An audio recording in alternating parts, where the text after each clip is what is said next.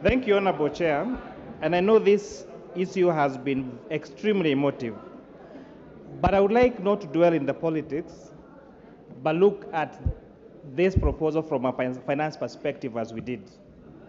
We have three types of VAT in this country. A product is either zero rated, tax exempted, or vatable. So for the vatable supplies, whether goods or services, all of them are at 16%, apart from fuel, which is at 8%. So what does that do for that particular sector? There's something we call input VAT and output VAT.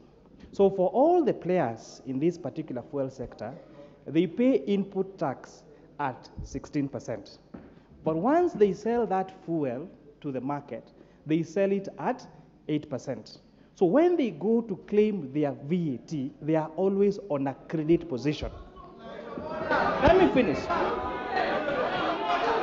What therefore means, what means, what it means to be on a credit position, what it means, we heard you. Give me a minute to finish my argument. What it means to be on a credit position is that it is taxpayers' money that has been paying the remaining 8%, and that is a fact. So this 8% that you have been subsidizing by, by, by, by charging VAT on fuel at 8%, on for all the other supplies 16%, it means it is taxpayers' money that was paying this 8%. And this is what this proposal is curing. Members of the public told us, look at the other taxes that are that are, that are composed this uh, on fuel. And honorable chair, we looked at them.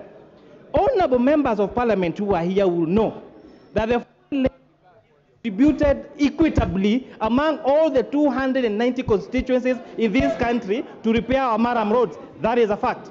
So we looked at what are the other taxes in fuel that we can reduce. And honorable chair, we looked at import declaration fee, what you call IDF. We have reduced that from 3.5% to 2.5%. We looked at railway development levy, and we have reduced that from 2% to 1.5%. And those Wind are up, facts. wind up, Chair.